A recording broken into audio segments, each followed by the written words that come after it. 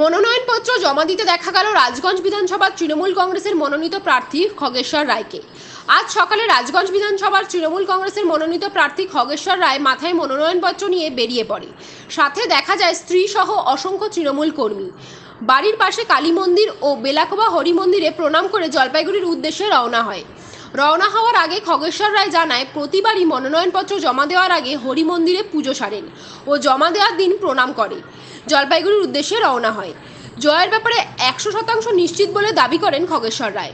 যাচ্ছি জলপাইগুড়িতে ডিএম অফিসে। কেমন লাগছে কেমন লাগছে? আমি প্রতিবার যেমন দু হাজার এক দু হাজার ছয় দু হাজার নয় দু হাজার এগারো দু হাজার ষোলো দু হাজার একুশ, ষষ্ঠবার সর্বভারতীয় তৃণমূল কংগ্রেসের নেত্রী তথা মামাটি মানুষের সরকারের মুখ্যমন্ত্রী মমতা ব্যানার্জি ষষ্ঠবারের জন্য প্রার্থী করেছে এবং যতবার প্রার্থী করেছে ততবারই আমি এই হরিমন্দিরে আমি পূজা দিই এবং যাওয়ার দিন আমি প্রণাম করে যাই। তার জন্য যে নমিনেশন টোটাল এখানে এবি ফর্ম আছে সিম্বল ফর্ম আছে, এটা শুয়ে নিয়ে আমি যাচ্ছি, এখন নমিনেশন পত্র আমরা জমা দেবো।